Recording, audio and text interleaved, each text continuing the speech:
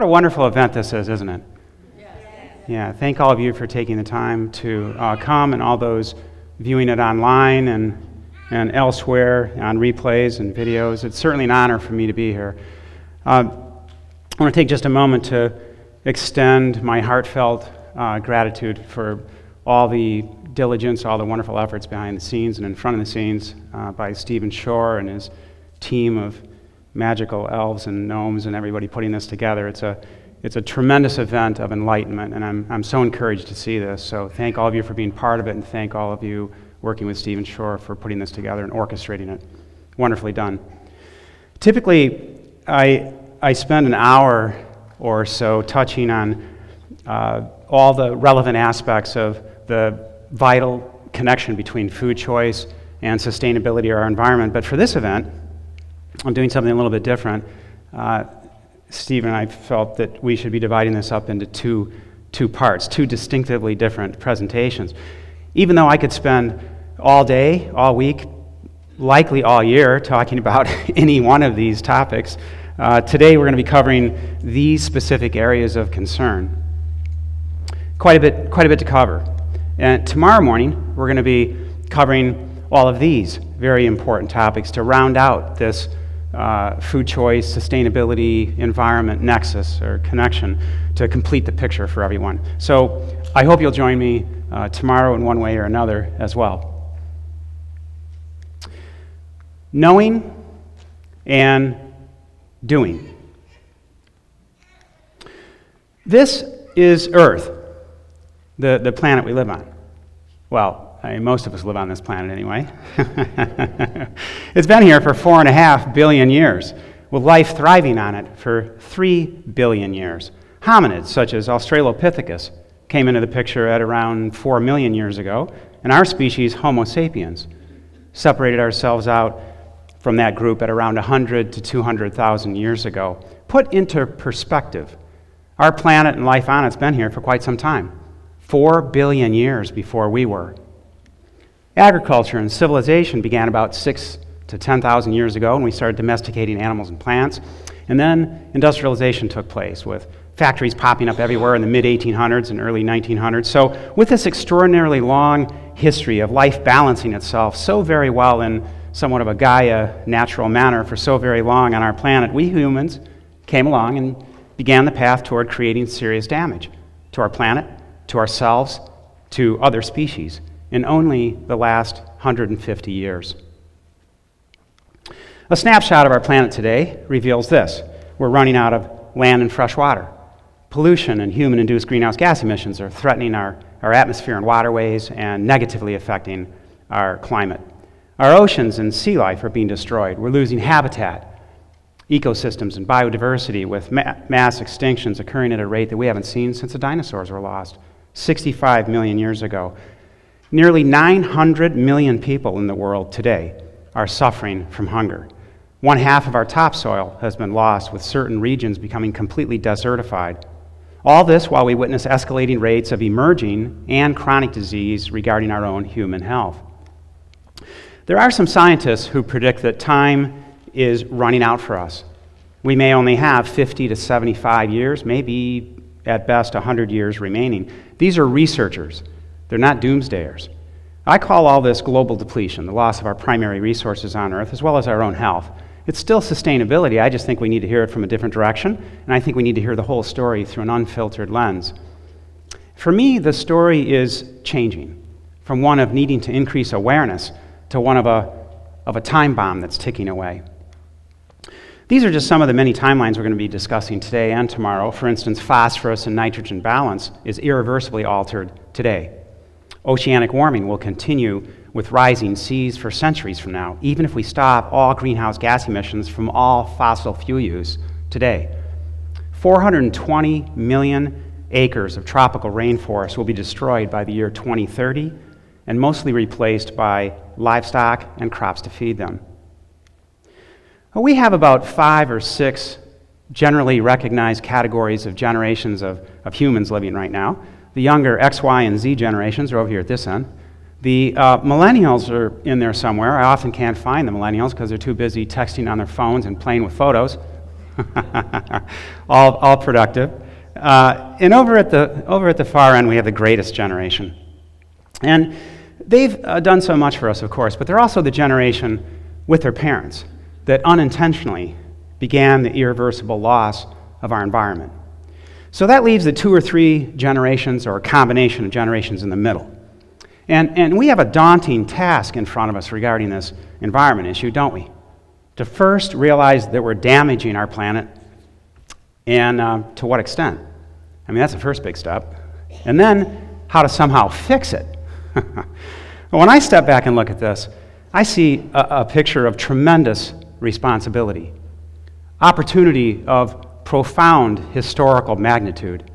My generation and the generation of our three adult children those two or three generations in the middle that are in somewhat of a leadership position today are in a unique situation to save Earth as we know it, save life on it now, and allow a livable future for those coming after us.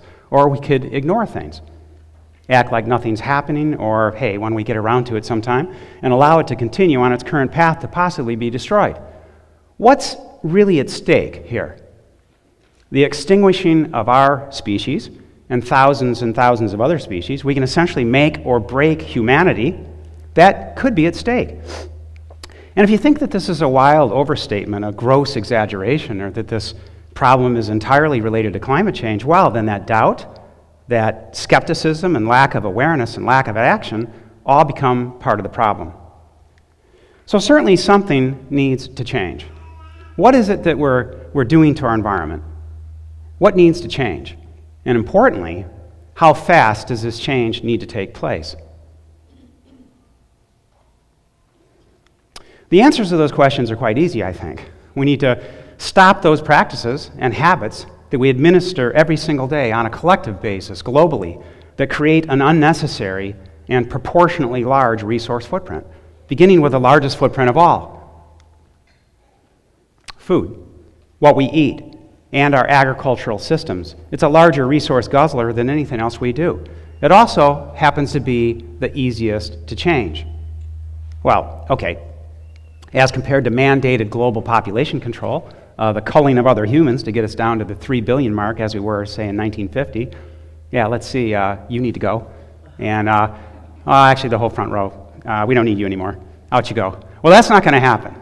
That's not going to happen. Or the immediate elimination of all fossil fuel use which isn't going to happen anytime soon. And you know what? Even if it did, it really wouldn't address a number of aspects of global depletion. So, how quickly do we need to change our habits, our footprint? I can tell you this it is not a time for baby steps. It requires big person steps because it needs to be done right now. It needs to be done today. We're on very real timelines. So, let's take a, a closer look at all this and, and see what it means. Many of the choices you make in life will have a profound impact on, on something else in the world, especially with things you consume, like food. It's one of the major disconnects we seem to have. What you do here might, of course, affect something over there or down the road a ways in terms of time. How to start looking outside the microcosm or the bubble that each of us tends to live in, and then perhaps how to encourage others to do the same. Well, a little bit about my journey. I became very concerned about what sustainability really does mean and began looking at food choices and agricultural systems quite some time ago. So, so I stopped eating processed foods and stopped eating animals when I was in graduate school about 42 years ago. And since then, I spent, yeah, it seemed easy for me. Uh, thank you. And uh, since then, I spent thousands upon thousands of hours researching farms, cultures, ideologies, the effect we have on our planet by way of uh, food production. I've been researching just so many factory farms and then realized I needed to re- research other farms, such as grass fed, fish farms, cage free, large and small operations here in the United States and in many, many countries overseas, learning and, of course, always questioning.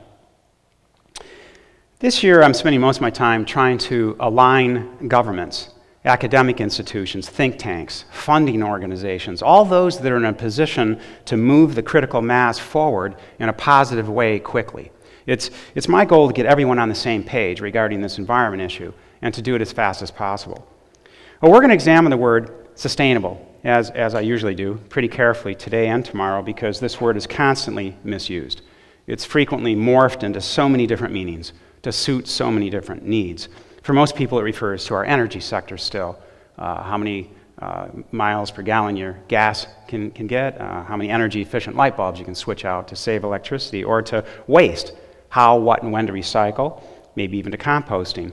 Occasionally we hear about economic or social sustainability, but rarely, if ever, is food choice properly positioned in sustainability efforts, especially the raising and eating of animals, despite the enormous effect.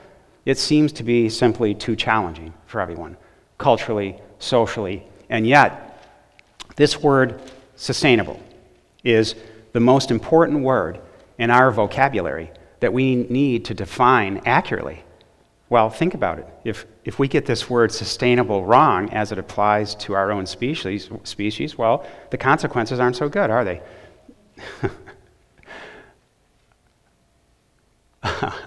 indeed, uh, a little stark, but indeed, civilizations have vanished based on how they used or misused their environment. As I mentioned, we humans have reached a critical and fragile point in our evolutionary journey as a species. Just in the past hundred years, a blink of an eye, really, we've reached the Anthropocene era, where we've acquired the power to negatively change our biosphere, the litho, hydro, and atmosphere. We're ruining the very environs that sustain us and all other life on Earth. Unfortunately, we, we haven't acquired the, the wisdom or the maturity to be able to manage this power in a, in, a, in a sensible or beneficial manner. In fact, five out of nine identified tipping points or planetary boundaries related to our life support systems on Earth, five out of nine have already been passed. And all nine boundaries are interconnected. As one collapses, the others will soon follow. A team of 28 internationally renowned scientists have identified and quantified these planetary boundaries, which are just very similar to what I'm talking about with global depletion um, in various categories. And within these boundaries, humanity can continue to develop and thrive for generations to come. However, crossing these boundaries will generate abrupt and irreversible damage to the environment and then create risks for continued human existence. So, once again, five out of nine identified boundaries have already been crossed. And with the other four boundaries, we're exceeding their tolerance level, levels. The boundaries that we've crossed are with climate change, biosphere loss of integrity and extinctions, land use and land system change, and altered biogeochemical flows such as phosphorus and nitrogen, and also ocean acidification. The story for me always seems to begin with these two numbers. There are 7.4 billion people living on our planet today, with 240,000 added every single day, net. Control the growth of our population, then, is an issue, but it's not nearly the problem as the number on the right, what we're doing to the planet. The number on the right represents the fact that there are more than 70 billion animals living on our planet that we raise and eat for food each year, and it repeats itself year after year in growing numbers. And in fact, that's the problem. This, this 70 billion number is also quite impossible to pin down. And it's very much on the light side because on any given day you might find up to 1.7 trillion chickens or two to three trillion fish in the world sooner or later going off to slaughter that one year. Let's look at a graphic about global depletion. Certainly, there are other industries that contributed to this picture, but none have the comprehensive impact as animal agriculture. Simply put, we're in overshoot mode, demanding more of our planet's resources than what it can supply. We've been in overshoot mode since 1973. Today, it would take one and a half to two full Earths to sustain what we're currently taking from and doing to our planet. Here in the United States and in a few other countries overseas, it would require five full Earths to support our current lifestyle. It's serious enough on its own merit, but it's made much more so because of all the layers and layers of various influences that tend to bury the problem and bury its solutions. What's critical for everyone to understand is that this is not just an industrial or a factory farm issue. Not, not at all. It's a raising animals to eat issue. And we're going to see that as we go along today and tomorrow. So let's continue refining our thoughts on global warming or climate change. First, we need to remember that global warming is just one component of the much larger, more insidious problem of global depletion, the more total effect we have on our planet, and it's not all caused by the energy sector. Discussions regarding global warming and climate change have now taken front stage nearly, nearly everywhere. It must be remembered, though, that climate change will have the effects of exacerbation. It takes events and makes them worse. Global warming and climate change, for instance, will not be the initial cause of these categories of global depletion. We cause these things. Climate change will worsen them. The, this state of our climate report was released just, just a couple uh, weeks ago in early August, documenting the work of over 450 climate scientists. The report is gloomy at, at best. We're breaking a number of records, records we, we, we shouldn't be so proud of breaking, finding that last year was the warmest on record as much of you, many of you know. Records uh, such as global uh, temperatures now reached a one degree centigrade rise above pre-industrial times, a new record. Concentration of greenhouse gas emissions in our atmosphere has reached, have reached now 407 parts per million. That's a new record. Oceans have risen 70 millimeters. That's almost three inches since 1993. The seas are now rising over three millimeters per year, which isn't so good for island countries, which is already causing island countries and some portions of island countries to begin disappearing.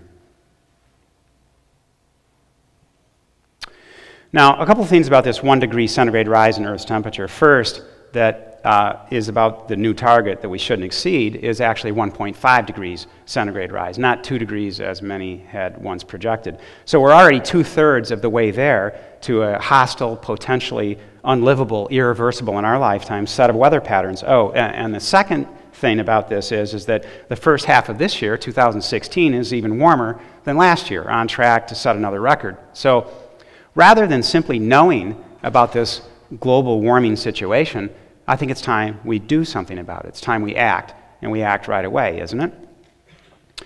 These numbers have caused quite a bit of controversy over the years. Um, how could the meat everyone's eating cause more greenhouse gas emissions than what's caused by powering all the cars, trucks, planes, and trains that we drive and fly every day? It's hardly conceivable, but instead of 18%, as that original 2006 United Nations report stated, or even the most recent figure of 14.5%, a couple of researchers found that livestock could produce, I mean, it's possible, according to them, they could produce as much as 51% of all human induced greenhouse gas emissions. Now, most scientific organizations are not on board with this figure yet, but it does bring up a, number of questions. And there are a number of reasons for the differences between the numbers, low to high.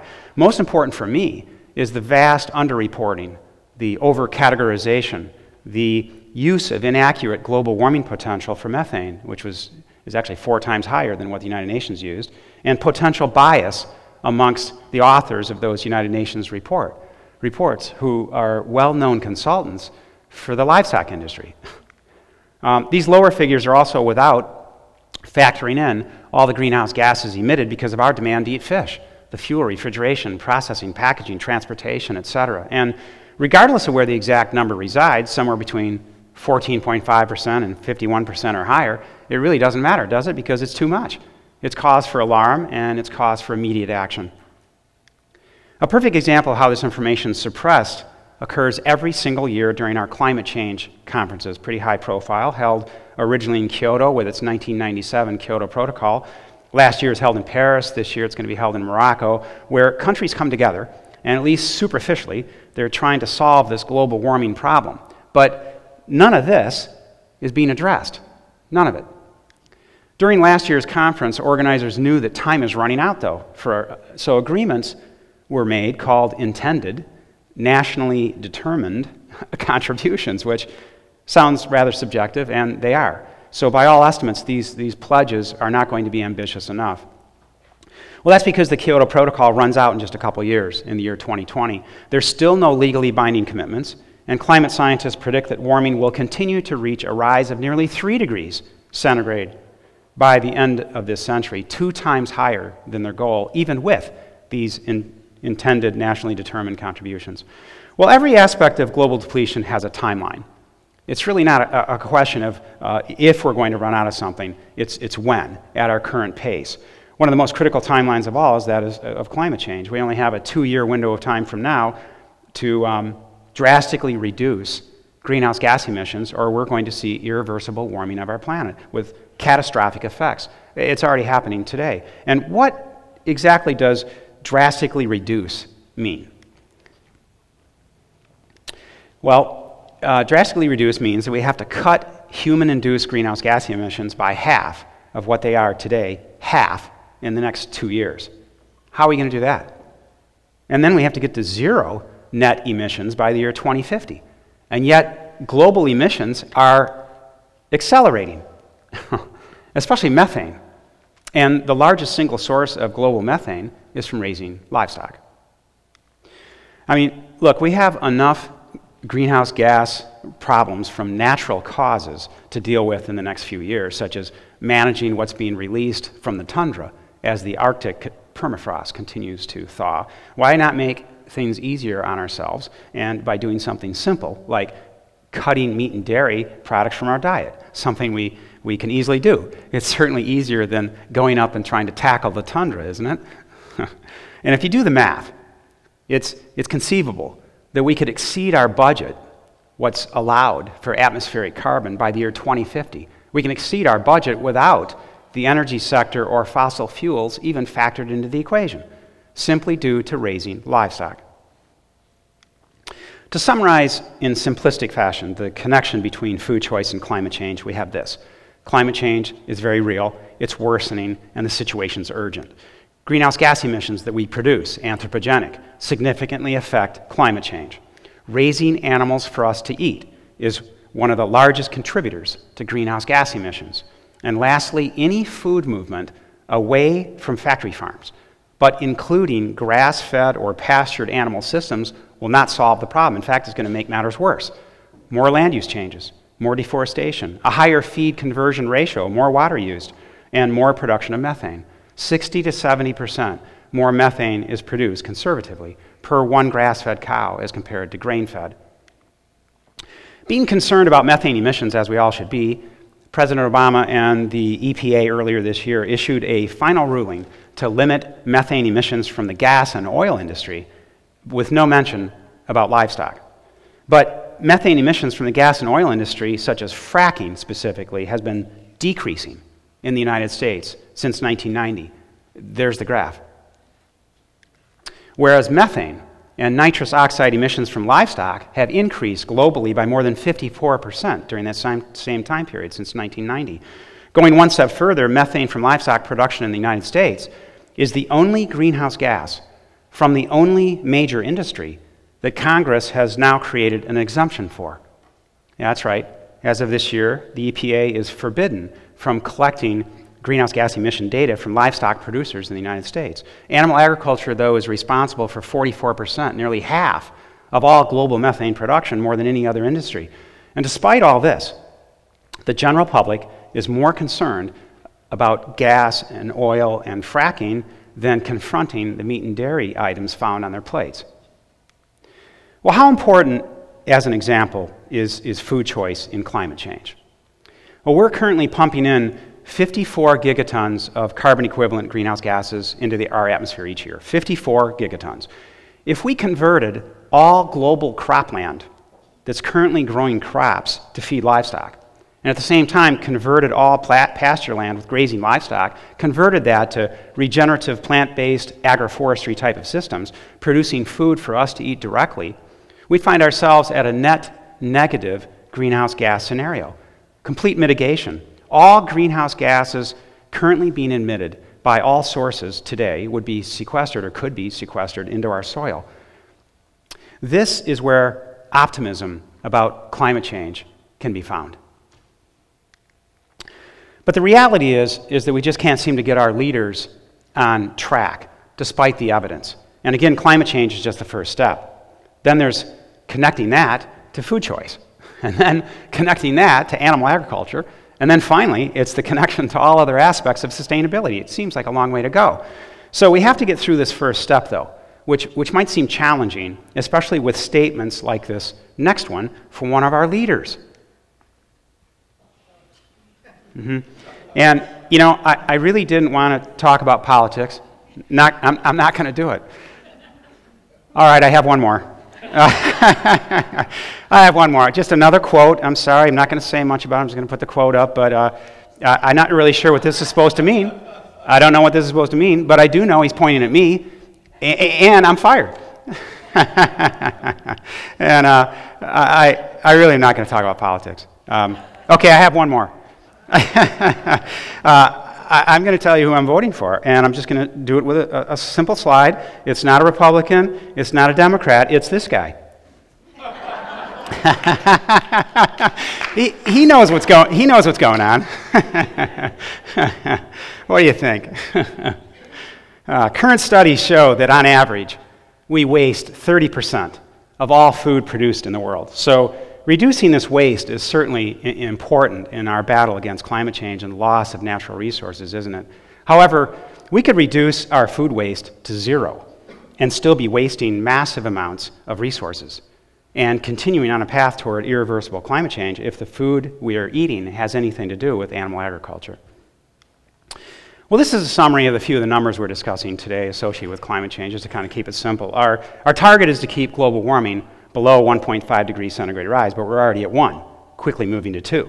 Carbon equivalent greenhouse gas emissions, the concentration in our atmosphere, is at a historic high for human existence, now over 400 parts per million, but the goal for livable conditions is to keep this number under 350. We're em- emitting 500, or excuse me, we're emitting 54 gigatons of carbon equivalent greenhouse gases per year. We should be at zero, and livestock emit minimally 7 0.1 gigatons per year, and the number is expected to increase by between 50 and 200 percent in the next 30 years. And remember, our goal is to be zero. Per one unit of protein, beef produces 150 times more greenhouse gas emissions than beans, such as soy or lentils. So you say, well, let's just switch to chicken and pork. Well, they produce 20 to 25 times more greenhouse gas emissions as soy or lentils, and with their tremendous rate of growth, and numbers being produced, chicken, pork, and fish in aquaculture settings are problematic at best. Given the predictions of nearly every climate scientist in the world, our business as usual approach to climate change isn't working. And we simply can't keep focusing on, on only gas and oil. Therefore, it's time for us to get outside the box, take the right action, and to do it now. So, looking at solutions, prescriptions, this is what we have. The first approach is to reduce our dependence on fossil fuel just like Al Gore and everyone else recommends. But renewable energy infrastructure, such as building solar and wind generators all over the world to reduce climate change, it's a good idea. But it's projected to take another at least $1 trillion per year for the next 34 years to develop. Well, well, we don't have 34 years. And we don't really have much more than two years. And we really don't have $34 trillion. So another solution to climate change would be we could stop eating animals today. It doesn't have to take 34 years. And instead of $34 trillion, it costs you nothing. That's the prescription to mitigate, not adapt to, but to mitigate climate change. Interspersed throughout our discussions are a few themes. One theme is how information about this particular subject has been suppressed, even mismanaged. So much so that objectives of many important meetings, like the climate change conferences and other organizations, well, those objectives aren't being met. And that all begins with the words we use. How, how clear are they? Are they conveying reality? These are all food movements that superficially seem to make sense.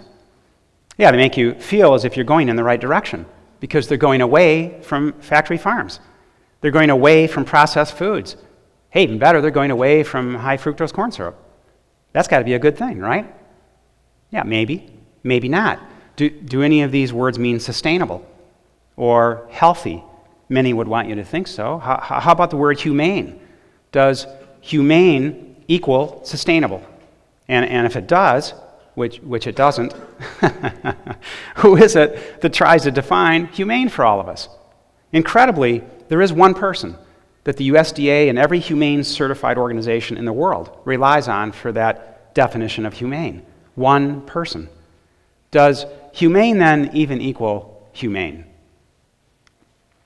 And what does real food mean? I mean, I have issues with its precepts. Real food is a very large food movement today, especially on college campuses that I visit. It's defined by being local, fair, sustainable, and humane. All four of those things at once. Well, that sounds terrific. But this is terribly misleading. For instance, let me see, let me give you an example of this. For instance, this is considered not real food. Now, it's a, it's a, it's a Vega bar. It's, it's not real food because it's not local. It, it's made in Vancouver. That's pretty far away. And worse, it's processed. It's all put together for you. But it does have Sacha Inchi seeds, fair traded, uh, four different types of organic plant protein. It's really put together quite beautifully well, but remember, it's not real food. It doesn't fit their definition. Whereas these other food items I'm about to show you are considered real food. Over 19,000 chickens are killed every minute. Every 60 seconds in our country, 19,000. I suppose that's pretty real. And if chicken, beef, pork, fish, or any animal product is considered real food, wh- what about these? R- real food too? sure, why not? They come along with it. And hey, these are free. you don't have to pay anything for those. So, unlike the Vega bar, these poor things are considered real food because they're local. And the real food people think that they're sustainable, healthy, and humane, but they're not. They're none of those things, other than perhaps being local. Therefore, the real food movement is flawed because the definitions they're using are flawed. Similar to every other food movement on this list, just because something is local doesn't at all mean that it's healthy or sustainable or humane. It doesn't even mean that it should be eaten. The, the, the only thing that local means is that it's not very far from here. Buying local has little to do with sustainability, then, other than from an economic standpoint. It's a solid idea to help nearby farmers. That, that's important. But in fact, transportation is only responsible for 4%. Just 4% of all the fossil fuels used and all the greenhouse gases emitted in the entire food production process. It's, it's much more relevant to view all of this by using a complete life cycle analysis. 2014 was designated the year of the family farmer, which, which is a good thing.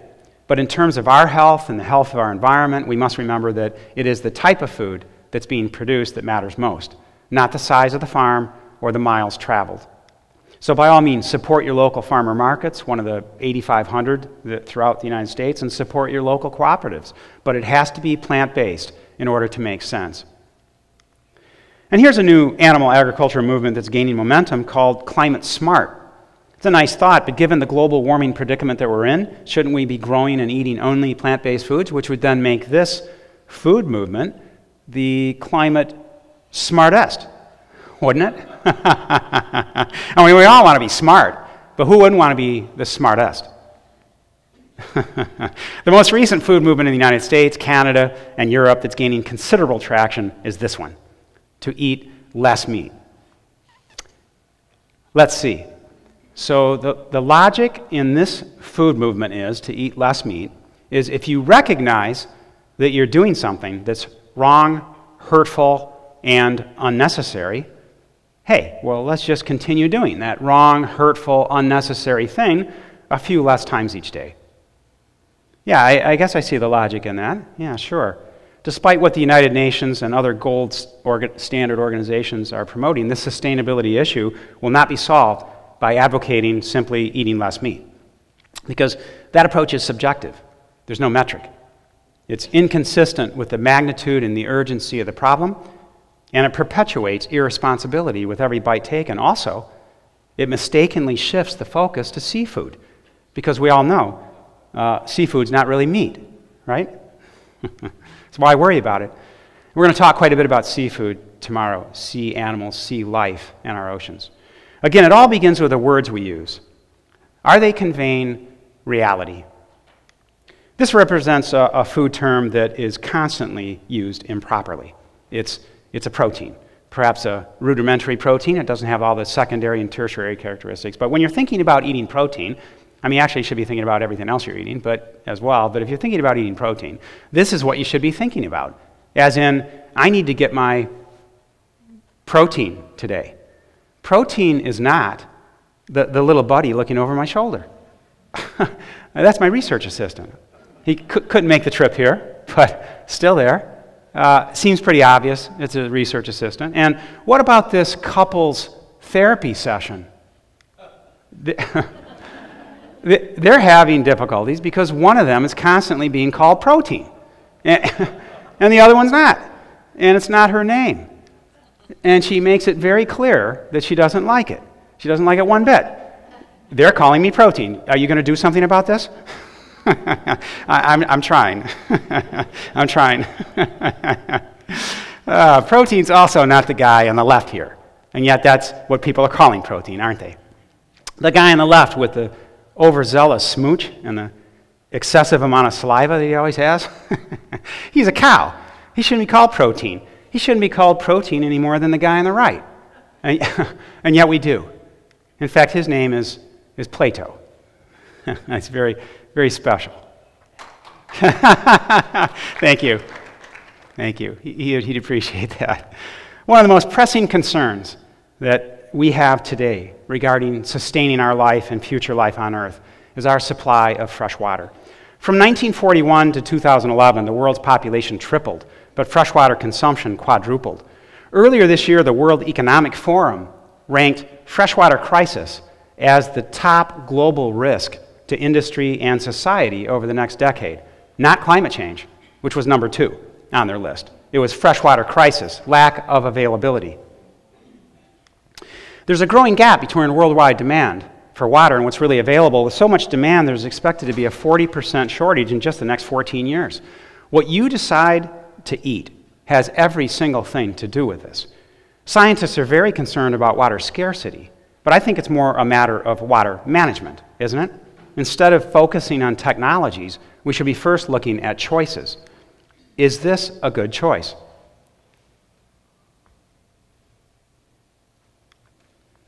How about this choice? Does that look good? Are any of these good choices? All global averages. Are these good choices as compared to, say, these choices? Same global averages, quite a, quite a difference, wouldn't you say? Hey, it requires 400 gallons of water just to slaughter one cow or one pig in the United States. 400 gallons. Although water on Earth remains constant, the consumptive form it happens to be in does not. Four out of five people now live within 30 miles of a water damaged area, meaning soon to run out or polluted. There are nearly 300 transboundary river and waterways on Earth where multiple countries share vital running water supply. As we see water shortages over the next 14 years, we will surely see droughts, famine, human sickness, and then we're going to see conflicts, social unrest, mass migrations, and even wars. Indeed, those living downstream will be fiercely battling those living upstream for their water rights. Climate change will make these matters worse, but not cause them food choice, and virtual water trading through food, especially with water intensive animal products, will play a much larger role than energy or fossil fuel use. In many areas of the world, freshwater scarcity coexists with hunger and poverty. Afghanistan, Sudan, Saudi Arabia are raising livestock and crops to feed them while running their water supplies dry. 60% of Ethiopia's population suffers from hunger and thirst and yet their dehydrated land is being used to support a growing herd of over 50 million cattle, the largest in Africa. Syria, as we all know, is desperately in need of a number of things, aren't they? They're in need of freshwater supplies for their thirst, thirsty 18 million humans. But at the same time, they're attempting to provide water for 47 million cattle, sheep, and goats. And so it is with Pakistan, Mongolia, Russia, China, India, nearly every country in the world struggling with an increasing human population, dwindling natural resources, and being strangled by their meat and dairy culture. So that has to include the country of California and the southwest United States. Uh, regarding fresh water, and despite the recent effects of El Nino, things aren't going so well in California, are they? But have they given thought to where most of the water supply is going? It's not to golf courses, and most of it's not to lawn care. Between 60 and 70 percent of the total consumptive water usage in California goes to livestock and crops to feed them. You know, being concerned and showing graphs of precipitation levels won't solve California's problem. The government mandate of a 25% cut in water use this past year won't solve much either because California hasn't factored in the water footprint of what they're eating. As an example, California uses 900,000 acres of land to produce alfalfa. Anyone here from California? Why do you do that? no. Why do you do that? because each one of those 900,000 acres of alfalfa require one to two million gallons of water per year to irrigate, and they all get irrigated. every one of those acres. And guess where all that alfalfa goes? It goes to livestock. 5% to horses, the rest to livestock. 75% go to dairy cows. And there are 1.8 million dairy cows just in California. This brings up the point of virtual water footprint, which is going to be more and more relevant in the future as freshwater supplies globally shrink. It's how much water is used to produce a certain good, and then it's, it's shipped somewhere else, so that water is, is essentially lost or exported. Our virtual water footprint in this instance is where we're extracting massive amounts of water from ancient aquifers that took 50,000 or more years to develop. We're using that water to produce alfalfa or other feed crops that are then being exported to other countries. California alone is exporting 100 billion gallons of fresh water per year just to China via hay to help feed China's 17 million cattle. China is quickly closing in on, they're only in third place. China is quickly closing in on Japan and United Arab Emirates as the leading importers of our hay and therefore our fresh water. These countries are running out of land and they're also running out of fresh water. They know, they've learned, that it's not wise to use their precious drinking water to produce hay for cattle. So they might as well get it from the United States because we don't know any better. We haven't got that figured out. In all, United States exports to other countries more than 80 trillion gallons of virtual water per year, which is two times more than being, what's being exported by any other country in the world. The vast majority of this water, make no mistake, is tied up in livestock or in feed crops that are then shipped to livestock overseas. Using less water to brush our teeth, flush toilets, or do laundry, or less time in the shower will save two gallons of water per day for each act. That's important. However, eliminating meat and dairy from one's diet will save on average over a thousand gallons of water per person every day. If California stopped growing alfalfa for livestock just for one year, just stop growing alfalfa for one year. Stop using that water. The amount of water saved that one year would be enough to provide drinking water to the entire human population of the city of San Francisco. N- not for one year, every year for the next 66 years. The average household in the United States uses 50,000 gallons of water in one year, according to the EPA. Indoor use, about the same outdoors. It's quite a bit of water, and it's what we're focused on in times of drought, how to reduce this. The, the average person in the United States, though, consumes about 200 pounds of meat in one year, divided between 46 pounds of pig, 58 pounds of cow, 102 pounds of chicken and turkey, in addition to the 248 eggs and 616 pounds of dairy products, which equates to 405,000 gallons of water per person per year just to support that animal product diet. So now, more accurate view that the EPA should be broadcasting and we should all be aware of is that every household of three people in the United States, well, they use over a million gallons of water each year. Not, not 50,000, 1.2 million gallons. And 96% of that outrageous water use is from their choice to eat animals. So, whenever there's a drought or a water shortage anywhere in the United States, which there are and there will be, does our government or your community ever step up and declare a state of rationing or eliminating meat or dairy? Why not? Why shouldn't they? This year, one of the largest desalination plants in the world opened near San Diego. It cost $1 billion, and it provides drinking water for 10% of the human population of that area. There's about a two to one ratio of seawater, ocean water, coming in and then being desalinated and then going out to, for drinking water. The energy required to produce this water in this, in this manner each day is enough to support the needs of 30,000 homes.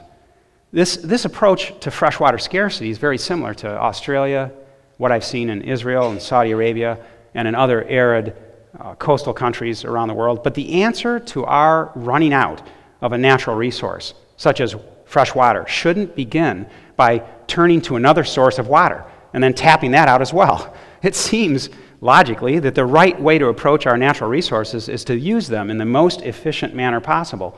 Instead of desalination, for instance, San Diego should have considered spending $1 billion on educating their citizens and policymakers on the environmental benefits of eliminating meat and dairy and fish from their diets. Among all the other benefits, then they would have liberated between 50 and 90% more water each day, rather than the meager 10% gained by way of sucking water from our oceans. Uh, thank you.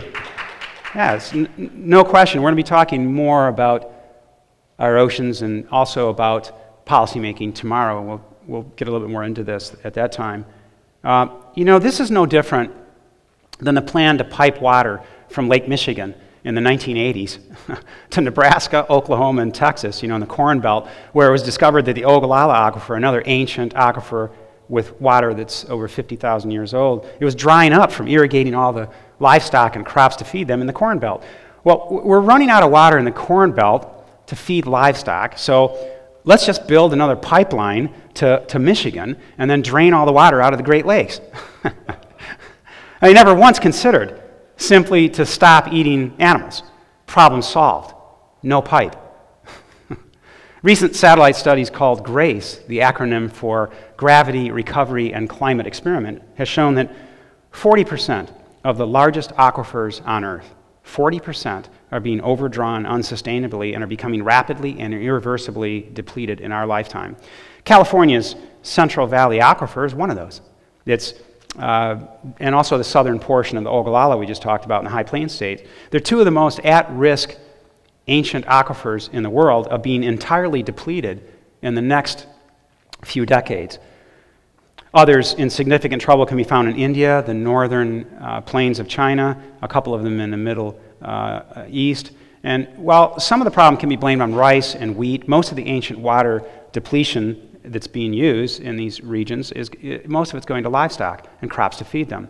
As an example, Earlier this year, among other locations in the world, 2,000 water wells dried up in Tulare County, California. These wells didn't dry up because of climate change. No. Tulare happens to be the leading county in the United States for dairy production. That's where all the water went to produce cow's milk. It's also one of the most polluted counties in the country. Cow's milk is produced at a ratio of 1,000 gallons of water to produce one gallon of milk. Well water levels in the southern high plain states, such as Texas and Oklahoma, that we just talked about, have dropped by more than 100 feet during the last few years. Nevertheless, that area is still being used to support some of the heaviest concentrations of beef cattle. In terms of raw numbers, livestock consume 34 trillion gallons of fresh water each year in the United States alone. 34 trillion gallons. I repeat myself once in a while because the numbers are astounding to me even though I, I see these every single day. They use this much water by way of drinking water and water to grow crops to feed them. A number of scientists have questioned and vetted some of my numbers over the years, like, like this one. And I'm quite used to it, no problem. In, these type of, of numbers are buried, very often, they're buried within other data. Often have to be teased out of other research because nobody's looking for them. They have to be extrapolated and then verified. It's a, bit, it's a bit tedious, and the results are incriminating for those industries involved. I mean, let's face it, information like this puts the meat and dairy industries on trial. What researcher wants to do that? Well, I don't mind. I don't mind at all. Thank you. so, so typically, I, I provide any arguing scientist, which there are a few, um, I provide any arguing scientist with all my data and all my computations, like what you see on the screen here, and then I say to them, uh, there you go. Do the computations yourself. Have at it. and after they do, my hope, and many of them have, is that they stop eating animals too and then spread the word scientifically because they've all found out over the years that my numbers like these are actually on the conservative side. So the question remains even though we experience periods of less precipitation, less water available, is this a drought that we're witnessing in California and the problem that we should be concerned about and across the rest of the United States and the Southwest and, and also in the Middle East and other areas of the world? Or is it more of a problem of misuse of our freshwater resources that are available at any one particular point in time? Maybe that's the way we should start viewing this, this issue. So then these are the timelines for fresh water. And it's really not anything we can feel comfortable with. The NRDC predicts that one third of all counties in the United States, that's over 1,100 counties spanning 14 states, will face water shortages by the year 2050, with more than 400 counties being at extremely high risk. While palm oil has front page notoriety, tropical rainforest loss due to livestock has occurred at a four times greater rate than that due to palm oil. In the last 25 years alone, 10 times more rainforest has been lost due to raising livestock than what's been lost due to palm oil. So, so be concerned about palm oil, certainly, but then be 10 times more concerned about livestock and animal agriculture. Tropical rainforests cover 5 million square miles, which is 8% of Earth's land surface, housing more than one half of the world's 10 million species of plants, animals, and insects, many more millions left undiscovered, likely. The Amazon rainforest alone produces more than 20% of the world's supply of oxygen. You're likely breathing some of it now. Sure, Indonesia is losing its rainforest to palm oil plantations. It's important to take note. But all the rest of the countries seen on this slide are losing most of their forest due to livestock. Satellite analysis show that tropical rainforests are being destroyed at a rate of over 20 million acres per year, 31,000 square miles. That's more than 5 billion trees per year that are cut down in our tropical rainforests. 50% of these lungs of our planet, 50% of Earth's tropical rainforests have already been cleared. Unfortunately, for those living in a rainforest, this is what a a few thousand to a million year old tropical rainforest now looks like because the world's food priorities are with eating livestock, not with being stewards of other living things as we should be. This is the sad result the burning and bulldozing of rainforests. Soon, grass, pasture, and cattle will follow this in. Usually, erosion, desertification, and localized climate change as well. If you choose to eat livestock here in the United States or anywhere else in the world, you're, you're supporting this destruction by fueling the global demand for meat. Brazil announced two years ago that deforestation in their country hit a 24 year low, which sounded good. But, but what does that really mean? Because they still cut down 2,000 square miles of rainforest during that one year period of time, just in Brazil. And tropical rainforest rates, deforestation rates, have increased since that time in Bolivia, Peru, Malaysia, and numerous other countries of the world, including they've increased in Brazil again. There are three distinct opportunities that tropical rainforests have that could help mitigate climate change, in addition to what we just talked about, about conversion of land. First, we could eliminate deforestation and degradation. Just don't do it. Second, we could allow degraded forests to recover naturally. And we're going to look at a couple of these examples tomorrow. They're very exciting.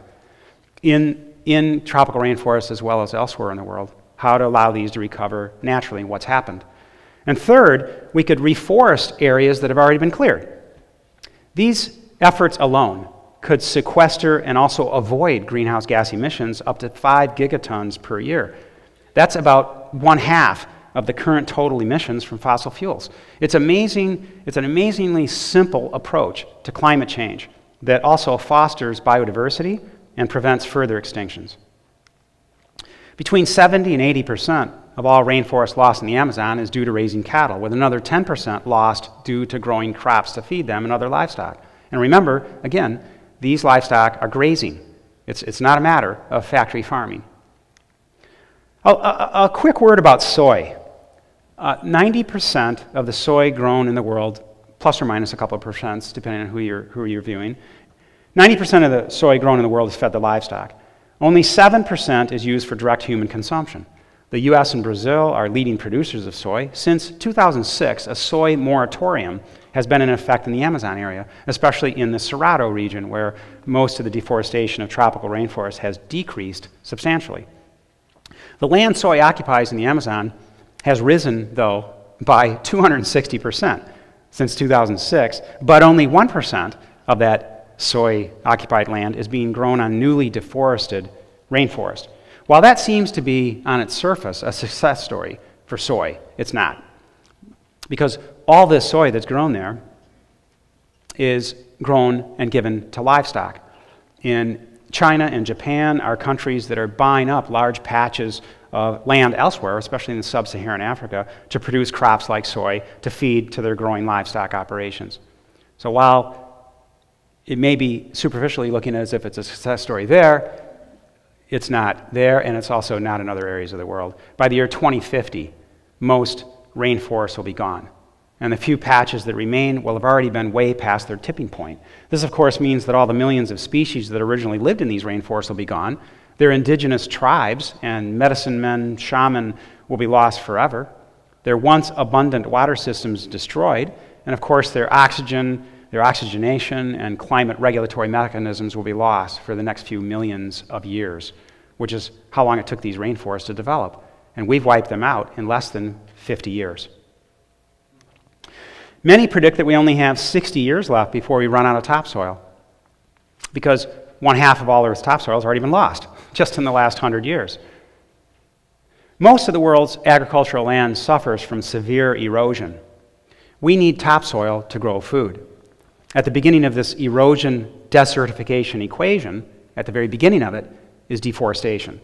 And the majority of deforestation can be blamed squarely on animal agriculture. In fact, less than 2% of all crops grown worldwide are with organic methods for direct human consumption.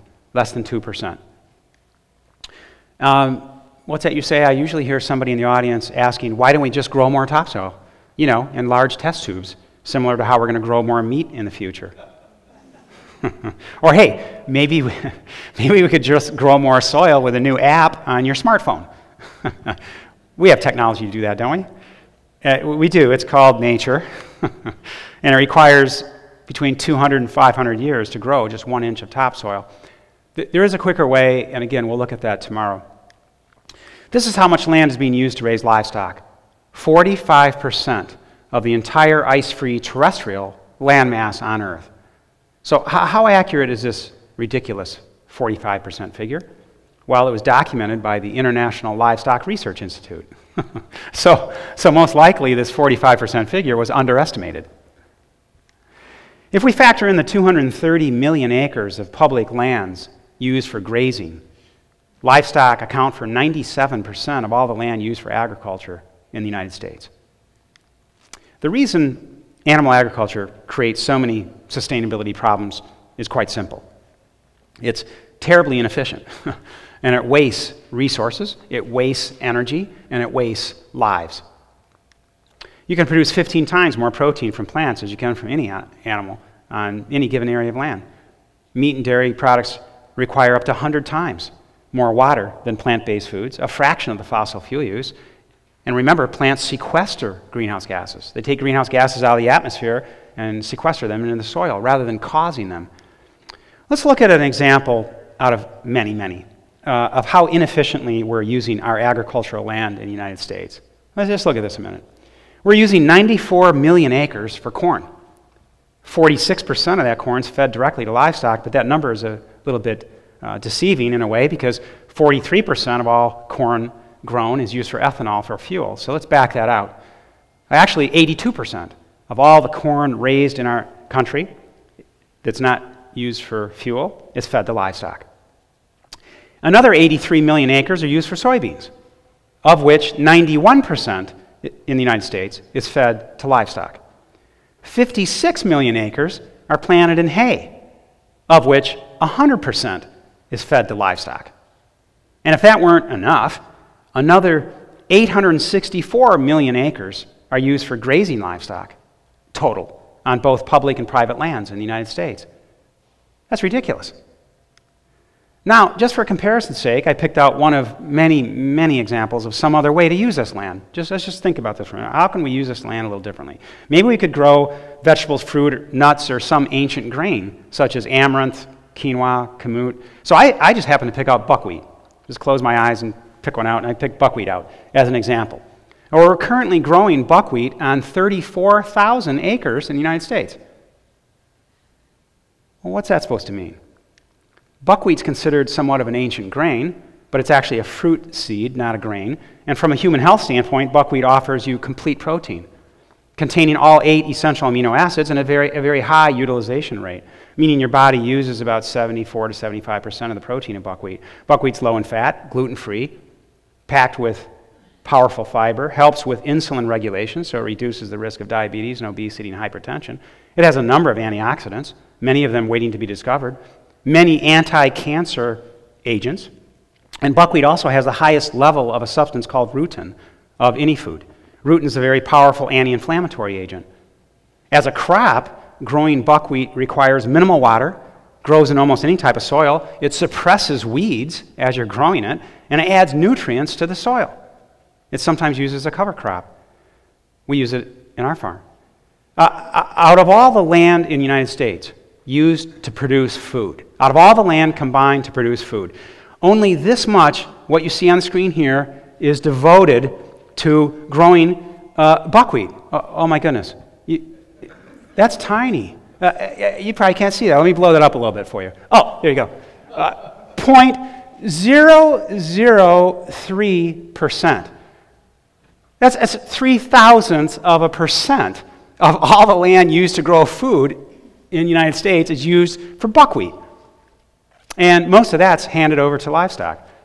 Given, given all the amazing human health benefits of buckwheat and all the soil rebuilding characteristics of this wonderful plant, what percent do you think this should be? Quite a bit more. And remember, this is just one of many examples of how we could use our soil and water more efficiently to produce healthier foods for us to eat directly. Getting back very quickly, just a quick example of the human health benefits, many studies have been accomplished and are, are now underway as well that are documenting the enormous amount of benefits that phytonutrients have and found only in plants, can't be found in animal products, and all the disease prevention and treatment characteristics of these compounds. You'll hear much more about this, I'm sure, from many other speakers here. Here are just a few of the many studies related to rutin to tie this back into buckwheat, which is only one of the many phytonutrients found in buckwheat. And I wonder how many studies like this we could find that document all the health benefits of eating meat. not, not very many. And this is just one compound found in just one plant. There are many, many other examples that we know of and are yet to be discovered. This statistic needed to be updated. Livestock now produce 7 million pounds of urine and feces every 60 seconds in our country. 7 million pounds, which is 100 times more than what the entire human population produces, and none of this is treated. To be sure, world hunger has many layers of complexity. One of the larger reasons is tied to poverty. But another significant factor is the looming shadow of our current demand to eat livestock and fish, which is indirectly tied to poverty. In fact, eating these animals ultimately affects food prices, food availability, and policymaking, which then suppresses progress in developing countries. We're having difficulty with this right now with a couple projects that we're working on in Mozambique and elsewhere. Last year, there was considered a record harvest grain in the world with over 3 billion tons produced but nearly half of that was given to animals in the meat and dairy industries. Importantly, to know, each year, 77% of all coarse grain produced in the world for food, 77% is consumed by livestock. We can't blame climate change, droughts, or flooding for the world's food security issues. Clearly, the, the difficulty is not, is not how or if, we can produce enough food to feed the hungry or the growing global population, but rather where all the food we produce globally is going. Well, not too long ago, I was um, asked to speak to microfinance leaders uh, of many countries at their international annual conference in Istanbul. Among many other things, I explained that the correlation between animal based food production systems, the correlation between that and world hunger, which is what they're trying to solve, can be found in generalized global factors as well as on a local basis within the countries where hunger and poverty rates are high. Global factors include manipulation and control of seed manufacturing and pricing, primarily for livestock seed and livestock feed crops by large companies such as Monsanto and DuPont. Global factors also include buying and selling of grain, including futures by ADM and Cargill, and global factors include uh, many factors through slaughterhouses and packaging by Cargill, Swift, Tyson, and JBS. These few but very large and powerful companies control over 65% of all the seed and grain, and they control over 80% of all the final animal products found in the world. It's a very monopolized production and economic system, manufacturing seeds at one end and spewing out meat at the other. Because of the global demand for meat, cultural, social, political, and economic influences remain strongly supportive of the continued dominance of these large companies and of the meat and dairy and fishing industries in general. This then drives how global resources are used, how money is spent, and how policies are determined. The demand for animal products, whether factory, whether factory farmed or not, in developed countries, then drives resource depletion in developing countries, as well as perpetuating hunger and, po- hunger and poverty. That is the connection. If, so we need to stop this, and we can stop it by supporting with our dollars only organically grown plant based foods and those smallholder farmers who produce them. Solving world hunger, though, isn't as simple as giving them the grain that would normally go to livestock. That's always been an argument. Just, just give them some grain that, that we normally would give to livestock. Well, it's not that easy. The solution, particularly in developing countries that I've written about and advocated for over the years, requires a multi-dimensional approach to sustainability, established on many levels simultaneously, with organic plant based food systems at the nucleus. The model for success at reducing hunger in developing countries, I believe, should look like this no livestock. This is the model where all world hunger funding should be spent if it's to be considered responsible financing. One group that's making this happen that we should all support is the Purpose Group International. They're doing wonderful things, and we need to get behind them. The Purpose Group International.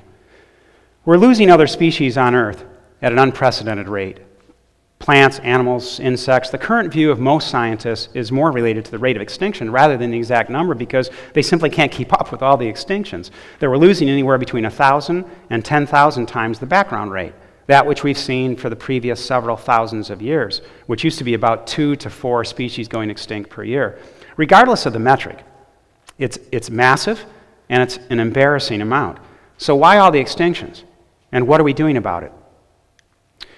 Recognizing that there's a serious problem, and, and part of the Convention on Biological Diversity, held in 2010, 200 nations adopted a 10 year plan to save other species by the year 2020. They, they weren't concerned about saving them in 2010, they wanted to wait until the year 2020. These are just four of the 20 targets that were gr- agreed upon. Just four a midterm report was issued last year because we were halfway there to the year 2020, and unfortunately, it stated that these 20 targets will not be met. Worse, it confirmed that loss of biodiversity is actually accelerating. And, and by the way, these are the recognized five drivers of biodiversity loss on the right. Um, do you see uh, a common denominator? We, well, nearly all researchers agree that the leading cause of all five of these drivers combined is animal agriculture livestock on land and fishing in our oceans. So, similar to climate change, our leaders can set goals and targets all they want, but these goals and targets will never be reached without eliminating animals from our diet. For instance, just, just one example, it, it's pretty easy to meet their goal of reducing overfishing. Just stop eating fish. Problem solved. Done. Uh, I also know where they could get 45% more land to save. the Living Planet Index shows that we lost more than half of all vertebrate animal species in the world since 1970. Half are gone. Well, it's no surprise that during that same 40 year period of time, global production of meat and dairy products quadrupled. What we're doing to other forms of life on Earth is unparalleled in the history of our planet, where one species, is causing the mass extinction of nearly all other species. It reminds me of this somewhat well known and very appropriate comment that if all insects on Earth disappeared, within 50 years, all life on Earth would end. However, if all human beings disappeared from Earth, within 50 years, all forms of life would flourish. Even Pope Francis weighed in on his concern that Earth is our home and that the environment has rights, and that we humans are selfish in our disregard of Mother Earth. Now, whether you believe in God or not, uh, he's absolutely right. But thus far, Pope Francis hasn't made that critical connection to food choice and the destructive effects of animal agriculture. But he will, and at least for now, the seed has been planted. Today, there's really no organization or business in the United States and most of the rest of the world that expects to be taken seriously that does not have this word sustainable found somewhere in their corporate responsibility statement. I mean, look, even funeral products want to be sustainable. so, so now it's up to us to guide everyone through that open door to make that final connection to food choice.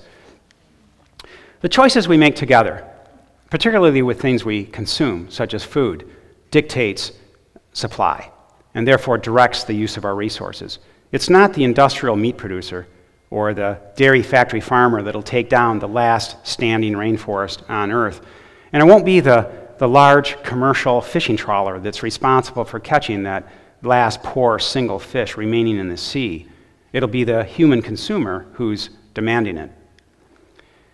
In summary of today, this half of the presentation, the part one, uh, it's not a time for baby steps or for us to, to simply do less of something that's extremely destructive. We need to begin thinking outside of self at our effect on others and future generations of all species, and then to act now. The clock is ticking. If, if you haven't done so already, consider adopting a, a fully whole food, plant based diet today, and then don't stop there. Please encourage others to do the same. We must all remember that it, thank you. We must remember that it is our planet Earth that sustains and nourishes us. So it really won't matter how healthy we are as individuals if our planet is not healthy. Tomorrow, beginning at 9 a.m., I'm going to be talking about so many more important topics critical to our survival as a species and the effect we have on our planet and other living beings.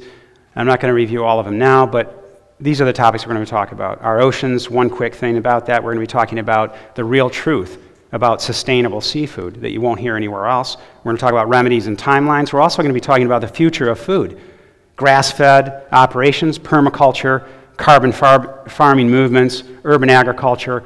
We're going to talk about this food choice sustainability gap. How bad is it? What's the current view of policymakers?